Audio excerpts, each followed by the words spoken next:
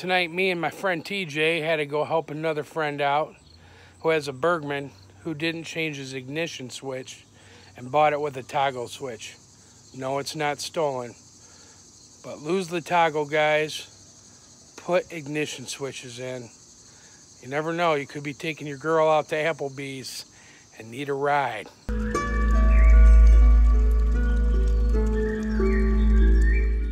Now don't let this happen to you. TJ, turn your key off so it doesn't. Uh, if you ever buy a scooter and you lose the ignition, don't use a toggle switch because uh, we got to load this big boy into a, a, a truck and uh, somebody lost the keys and they hooked up a toggle switch. No, it's not stolen. Uh, bought it that way, but uh, it won't start and the owner's not here yet, so I'm going to make a video of it.